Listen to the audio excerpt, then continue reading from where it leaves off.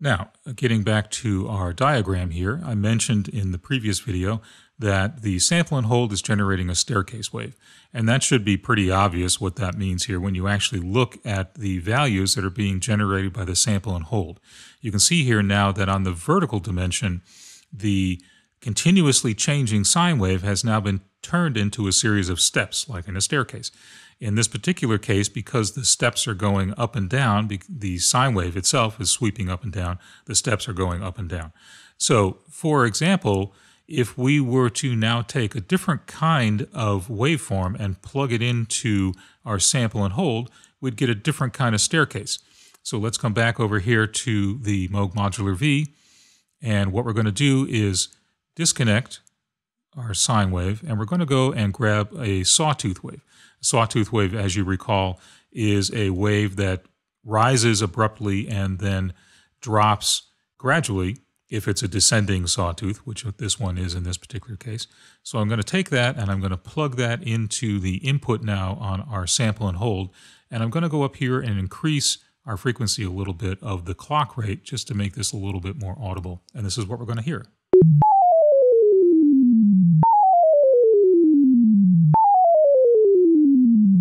So that's pretty obvious. And looking at the diagram here, this is what you'll see. Whereas previously with a continuous sawtooth, we had a smoothly changing descending slope here. When we sample at a specific interval and hold until the next one, what we get now is very much what looks like a staircase. We have the waveform rising abruptly to its peak and then stepping down to its lowest level again, again, and that's what this is going to sound like here.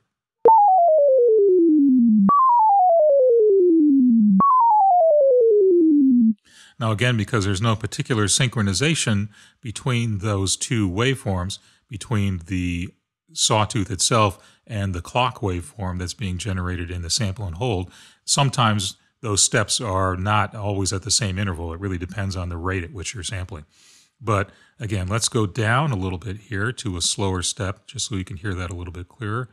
So let's try to get this in the, oh, in the uh, three second range or so. A little tough to get right to there. Well, let's go for four seconds.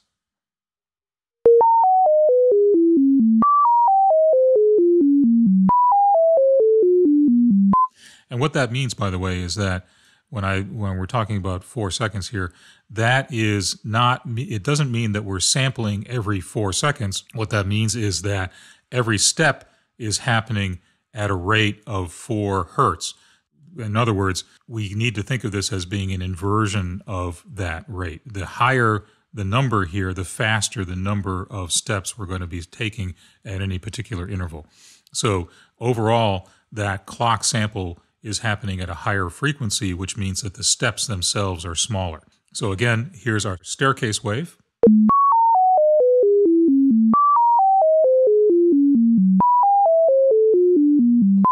So we get a kind of an interesting automatic control of our waveform here, of our sine wave oscillator, that is, in a way that we really would be very difficult to play by hand unless we're some kind of keyboard virtuoso or something like that. And as I said, I can't really do that. So we're able to play that much faster and smoother than we could with a keyboard itself.